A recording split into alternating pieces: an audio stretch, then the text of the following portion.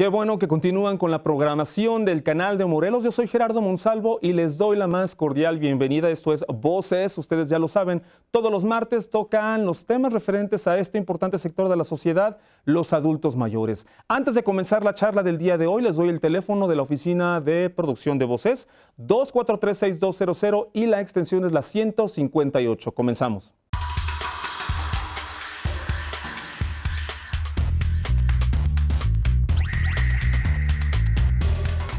Tema del día de hoy es necesidades y retos de los adultos mayores. ¿Cuál es el escenario? ¿Cuáles son los retos a los que se están enfrentando nuestros adultos mayores el día de hoy, en esta época? Está con nosotros Susan Grillo Arana. Ella es empresaria y también es presidenta del movimiento a favor de los mayores. ¿Qué tal? ¿Cómo está? Muy bien. bien. Muchas gracias por tenernos aquí.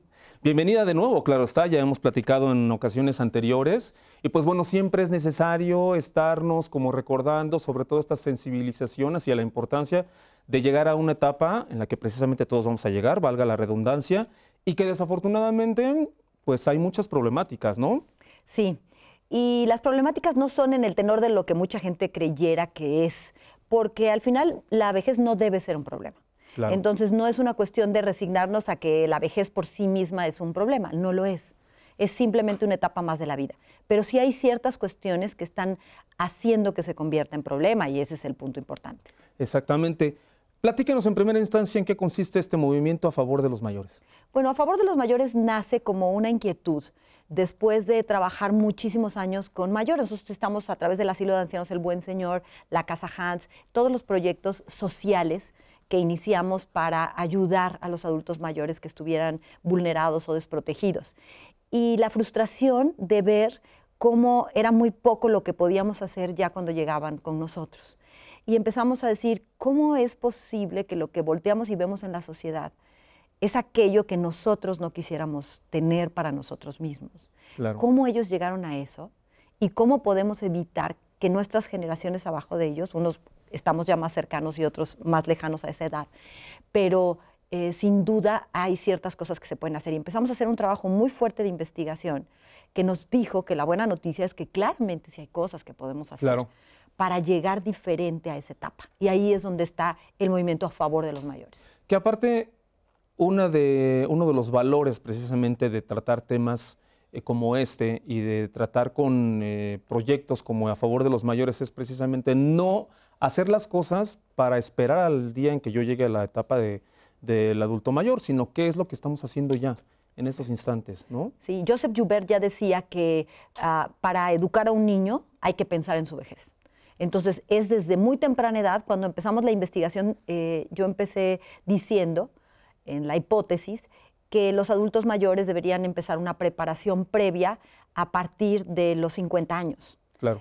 Y entonces, eh, desafortunadamente, cuando empezamos a trabajar y a estudiar y a ver todo lo que científicamente se había probado alrededor de este tema, pues resulta que no, que hay ciertas cosas que uno tiene que hacer desde los 30 años. Desde los 30. Sí, ya decíamos, desde niño hay que hacer cierta preparación, pero sin duda hay una cuestión que a los 30 años los jóvenes deben saber, hay ciertas cosas que ellos deben saber que les puede hacer una vejez diferente. Claro, ¿cómo qué cosas serían estas eh, que tendrían que saber los muchachos de 30 años? Bueno, la sensibilización que hacemos a través de Al favor de los mayores empieza diciendo claramente que nadie te diga cuándo estás viejo porque hay una cuestión legal en donde se establece que eres viejo o puedes ser considerado viejo y que legalmente incluso tienes ciertos derechos y obligaciones distintos a partir de los 60 años. Esto no es igual en todos los países. Y de hecho la tendencia es que esto pronto se mueva. Aquí hay muchos temas políticos, económicos atrás. Entonces en nuestro país no sé cuándo podría suceder y es un tema que es muy complejo pero eh, sin tocar esa parte de la legalidad o esta parte de la complejidad de, de, lo que representa la seguridad social o los temas de salud en términos generales, pues vamos a hacer la otra parte que es nada más la biológica. Sí, claro. Y ahí es donde decimos que nadie te diga cuando estás viejo, porque tú vas a marcar cuando realmente empezaste a tener esa pérdida de funcionalidad o, esa, eh, eh, o esos problemas que te hacen ya ver, sentir o actuar por necesidad en un tema de vejez. Pero hay gente muy joven a los 90 años y hay gente Claro. muy vieja a los 60 años. Entonces, esos 30 años son... Claro. Pero no es, no es nada más una cuestión de actitud, porque otra vez regresamos a ese punto de decir, no, si tenemos una actitud positiva y de repente pues me da un cáncer y de repente se me rompe ah, la cadera y de repente tengo un problema en mis huesos y de repente tengo diabetes mellitus y entonces dices, y la actitud... porque hay cosas que son reales, exactamente. claro. Y la actitud, sin duda la actitud es un factor, pero no es el único. Y ahí es donde cuando, cuando tú me preguntas, Gerardo, qué es lo que pueden hacer nuestros jóvenes, es que debemos empezar con un trabajo que a los 30 años es muy menor, pero que empieza a darle ciertas cosas, y no puedo mencionarlas todas porque no tendríamos el tiempo, pero podemos ir dedicando ciertos sectores para, eh, para ir trabajando, digamos, sobre ciertas edades, que no es lo mismo lo que debe escuchar un joven de 30 años que debe hacer, que lo que debe escuchar una persona que ya tiene 60 o que ya tiene 70. Entonces, nosotros lo que hemos hecho es dividir en grupos etarios las sugerencias, pero la pregunta es de los jóvenes de 30 años y una de las más importantes tiene que ver con el cerebro. El cerebro empieza a dejar de hacer eh, conexiones de las dendritas. Claro que son, eh, si les recuerdo, nada más está el axón y el axón tiene las dendritas y las dendritas no tienen una conexión física directa, sino es un estímulo eléctrico el que las une esa conexión automática empieza a dejarse de hacer naturalmente y biológicamente a los 25 años y antes de los 30 con seguridad. Estamos hablando en términos neurológicos. En términos, biológicos de las neuronas. Claro. Entonces, bueno, pues ahí muy poca gente sabe que eso termina, que además termina cuando estás terminando, los que hicieron una carrera profesional, pues están alrededor de ese tiempo. Entonces, la estimulación que tú haces externa, pues ya no estás estudiando, a lo mejor ya estás trabajando, ya estás en otro tenor, ya no estás haciendo una estimulación tan continua. Ahí es una primera recomendación, que hay muchas, pero una primera es, eh, tienen que hacer estimulaciones del cerebro. Y esto no significa tenerlo activo, porque dicen, yo trabajo, sí. está estimulado.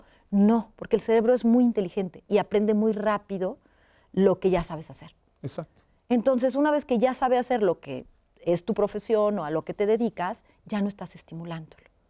Y ahí es donde viene toda una serie de cuestiones de ejercicios que sugerimos hacer alrededor de este tema. Claro. Me imagino que hay muchísima información al respecto en Internet, sobre todo también ejercicios, ahorita que ya... Gimnasia cerebral es lo que nosotros les pedimos que busquen, ¿no? Y en Internet ya pueden hacer muchas cosas, pero hay otras recomendaciones, entonces podemos ir en el futuro trabajando cosas directamente en algún programa específico para la gente muy joven o para los que tienen 40, entre 40 y 50, entre los que tienen 50 y 60, que cada vez va siendo un poco más grande las cuestiones que puedes ir desarrollando para llegar a una buena vejez. Exacto. Una pregunta para antes de irnos a corte. Los adultos mayores en la actualidad, ¿a qué escenario se están enfrentando? ¿Cuáles serían sus retos precisamente? ¿Y si ha cambiado comparación de décadas anteriores? El problema más importante está ahí. El problema real más importante tiene que ver con la demografía. Estamos hablando que en el 2012 eh, la población estaba alrededor del 9% en la población mundial y en algunos países que se empezaron a hacer viejos como países eh, en la segunda mitad del siglo XIX, por ejemplo, a nosotros nos enseñaron mucho que Europa era el continente viejo. Exacto. Y, pero ahí nos quedamos y ahí cuidado porque pasaron muchas cosas de entonces para acá. Y entonces lo que ha sucedido es que esa demografía cambió al grado de que ellos entraron en un proceso de estabilidad, si bien es cierto que sus porcentajes son más altos, eh, entraron en una estabilidad y nosotros que éramos un país joven, pues de repente empezamos a tener un crecimiento de ese periodo muy acelerado y entonces vamos a ser viejos muy pronto.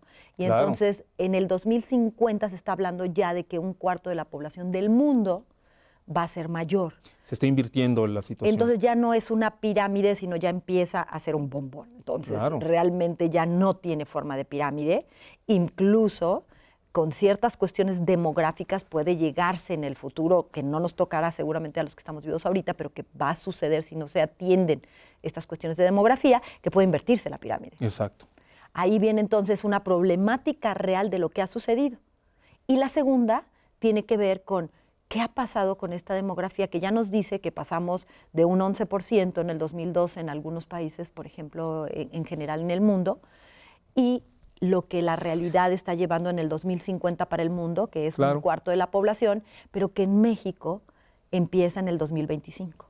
Está cambiando rapidísimo la situación porque para ese año que está mencionando, 2025, son ocho años. ¿sí? o sea, es ya, es inminente y no estamos haciendo a nivel de nación cosas importantes respecto a este tema. Exactamente. Estamos platicando con Susan Grillo Arana, ella es empresaria y también es presidenta del movimiento a favor de los mayores. El tema del día de hoy es necesidades y retos de los adultos mayores. Esto es Voz es, no se despeguen, tenemos que ir a un brevísimo corte, pero ya regresamos pronto.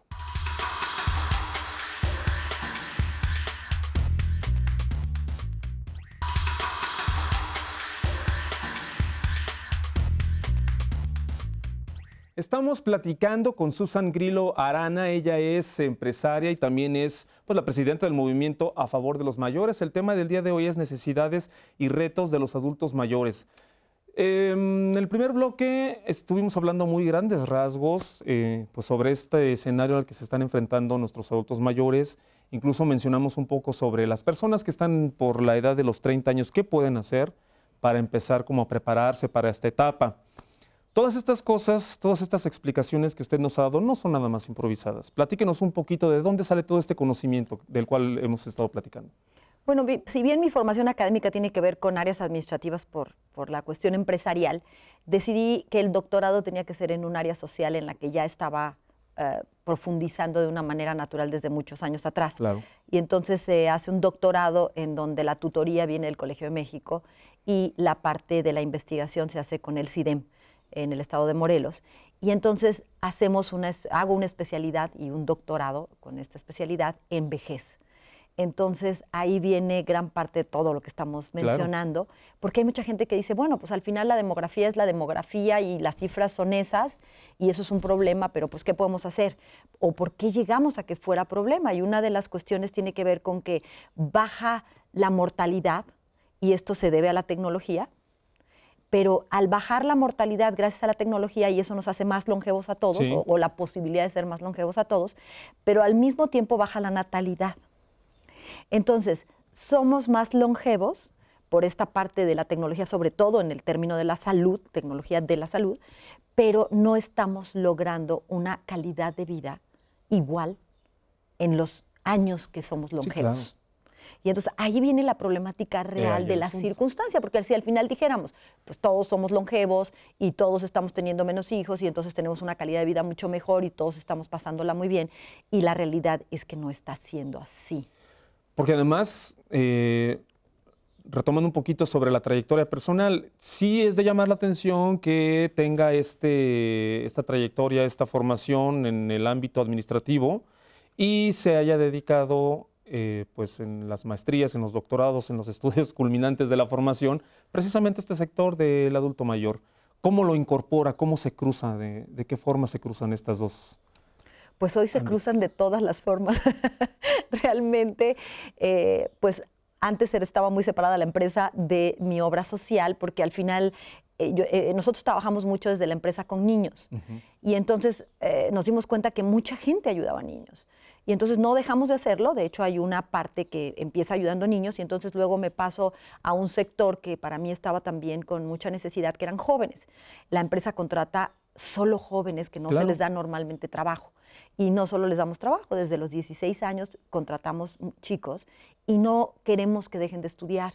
Entonces hacemos cosas muy sofisticadas para poder darles cada semestre un horario diferente y ponerles menos horas, de manera que puedan trabajar por horas y que puedan trabajar más los fines de semana para que no dejen de estudiar. Entonces empezamos a hacer todo eso y todo eso empezó a evolucionar muy bien y tenemos muchos jóvenes y tenemos este, niños que ya están apoyados y nos faltaba este sector en la empresa.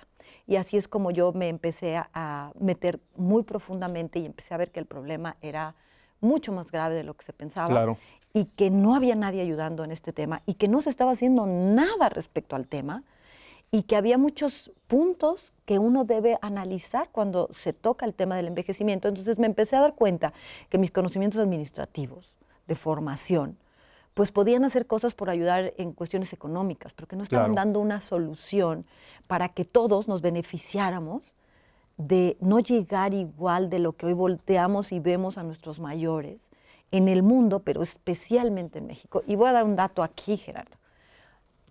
¿Qué porcentaje creerías tú que si estamos hablando de que estamos en niveles de pobreza altísimos y esto no es más que demografía pura? Y estamos hablando de que eh, los autores aquí tienen muchas diferencias, pero pensemos que estamos en una demografía de alrededor del 40% de una pobreza extrema. Y eso es terrible y se habla mucho de ese tema. ¿Qué porcentaje crees tú que pasa a ser este porcentaje cuando hablamos de mayores? ¿Cuántos mayores son pobres? Uf. ¿Qué se te ocurriría pensar? Híjole, honestamente y basado en todo lo que hemos tratado en temas aquí en Voces, en este segmento, pues digo, yo diría más del 50%. 80%. Y es estadístico. Claro. Más del 80% de los adultos mayores en este país están en pobreza. Entonces, si a eso le añadimos otras cuestiones que no nada más es el dinero lo que atormenta la pobreza, es muy importante, pero no es lo único. Claro. Porque también hay gente que cae en el 20%, que su problema no tiene que ver con una cuestión económica, que tiene un nivel medio o un nivel alto, y está vulnerado de otras maneras. Entonces, ahí me doy cuenta de la complejidad. Dije, esto es mucho más complejo, y si como sociedad queremos hacer algo, y todo lo que se estudió, yo no le voy a pedir a la gente que lea 200 libros que yo tuve Claro. que leer al respecto, pero sí queremos decir en voz viva que hay muchas cosas que podemos hacer para no llegar igual. Es importante porque todo esto lo vemos en la práctica, o sea, no nada más todos estos conceptos, toda esta plática que estamos teniendo en este instante, no se queda nada más en que es la presidenta del movimiento a favor de los mayores. Estamos hablando de la empresa, este, es una empresa muy conocida, es, eh, hay- hubo un poquito de reserva, honestamente, en cuestión de, de poder hablarlo. Es- la empresa de hamburguesas McDonald's, Así es. ¿correcto? Correcto. Está incluso eh, incorporado este programa.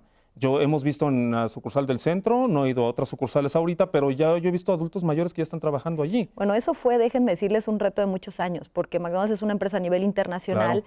y hemos roto muchos paradigmas ahí desde McDonald's en el estado de Morelos. Y uno de ellos fue libros para niños, que ahí la tristeza fue que de repente los papás dejaban los, los cuentitos y que estaban muy sustentados y muy bien hechos, eh, porque siempre se prefiere un juguete y lo entendemos, pero de repente haber metido libros y que lo logremos ha sido de verdad un- una cuestión en donde yo trabajé muchos años para lograr eso en México. Me imagino que es romper la estructura de la franquicia. Fue romper la estructura de la franquicia en ese sentido y ahora la volvimos a romper. También nos costó muchos años de trabajo en que estamos empezando a contratar a mayores en una empresa que es naturalmente solo de gente muy joven. Y claro que vamos a sostenerla así, no podemos decir va a cambiar en un 50-50, claro. no, pero queremos empezar a decir, ¿qué le hace un mayor a una empresa de tanto joven? Y lo que vamos a hacer es documentar esa experiencia. La Claro. estamos iniciando, pero la vamos a documentar y vamos a regresar y vamos a decirles qué pasa con eso. Aquí en Cuernavaca específicamente, esto Aquí es en primera Cuernavaca vez a nivel mundial. Es no, ahorita se está Sí. haciendo, lo que se autorizó fue el experimento Claro, en Morelos en Morelos. y parte de Guerrero. ¿Y cómo qué actividades estarían realizando los adultos mayores? Ellos, ellos están haciendo las mismas actividades que hacen nuestros jóvenes. Las mismas, eh, que algunos están haciendo en la caja y otros están haciendo limpiando los baños y limpiando las mesas y sirviendo en la cocina y haciendo labores administrativas. O sea, lo mismo que hacen nuestros empleados, Claro. exactamente lo mismo. Ellos entran al mismo programa, por eso tienen que entrar al programa internacional, porque ellos van teniendo graduaciones Ah, claro. del programa internacional. Por ejemplo, a los jóvenes se les paga muy poco porque están siempre en entrenamiento. Y luego se va a los que se van quedando, que realmente es un trabajo al, al principio, sobre todo de relleno, digamos, de su vida, que debe ser la más importante, que son sus estudios. Claro. Y luego los que se van quedando van ascendiendo. Y entonces ese es el apoyo de los jóvenes. Y este intercambio, esta parte intergeneracional, es la que en la investigación sale como una de las cosas que potencialmente puede tener mucho más beneficio para ambas generaciones. Claro. Y eso es lo que vamos a, a probar a través de este experimento, por llamarlo de alguna manera. Por supuesto, pues bueno, este es, ya veremos eh, en algún tiempo, a mediano o a largo plazo, qué resultados arroja este experimento que se está dando aquí en Morelos y en parte de, de Guerrero. Eh, quiero dar unos teléfonos antes de irnos al corte. Eh, un teléfono es 777, va a aparecer aquí en la pantalla. 777-102-1666. Este es de Casa Hans. Así es. Este es de Casa Hans. ¿Qué es Casa Hans? Casa Hans es el, es el proyecto de, a favor de los mayores que va a un nivel socioeconómico medio y que medio y alto y que ayuda también a muchos ab- abuelos a tener o casa de día o residencia para ellos. Claro. Esto está aquí en Cuernavaca. Eso está aquí en Cuernavaca. Y tenemos otro en Mazatepec. Ese es para los adultos mayores más desprotegidos de la sociedad.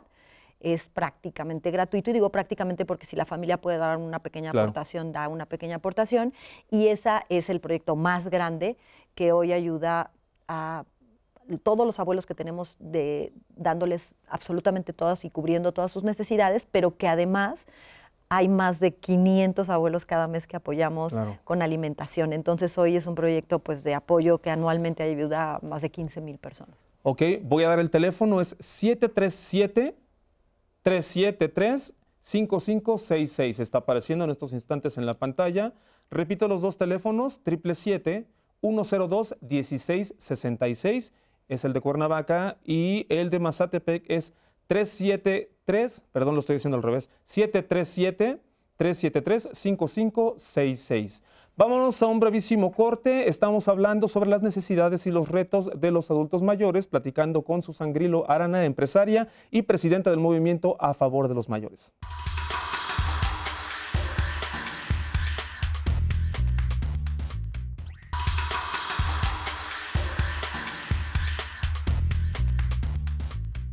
El tema del día de hoy pues aborda precisamente una problemática en la cual ya estamos inmersos, no estamos eh, pues haciendo previsiones, no estamos eh, vaticinando nada, ya estamos inmersos en esta problemática en donde los adultos mayores se están enfrentando a retos muy complejos. ¿no?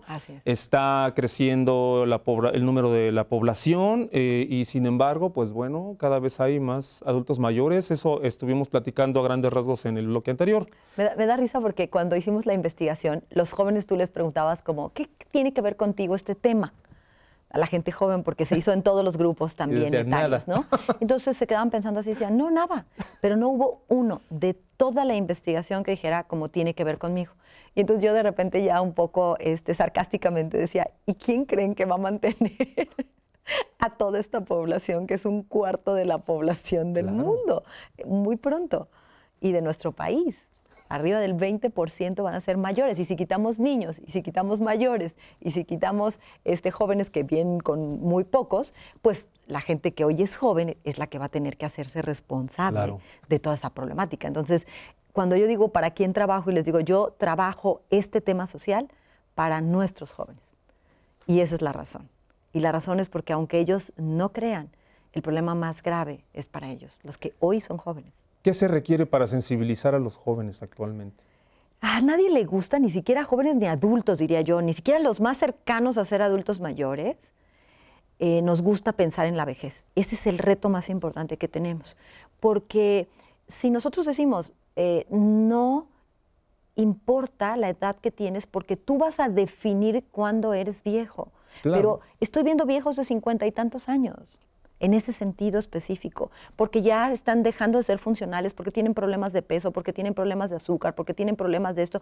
Entonces, esos ya son viejos y ni siquiera tienen la edad oficial de ser viejo, que sería 60 años o más. Pero también veo casos impresionantes de gente que tiene 80 años o 90 años y que son jóvenes, que todavía no son viejos. En el estricto sentido de que cuando hablamos de viejos es que fundamentalmente sus enfermedades, sus padecimientos los llevan a dejar de ser funcionales. Claro. Ya están fuera, del, fuera de la sociedad, por llamarlo de alguna manera. ¿Qué se requiere entonces para tener una buena calidad eh, para ser un adulto mayor? Hemos eh, platicado incluso sobre la inserción social, eh, la actividad física, la estimulación mental. Claro.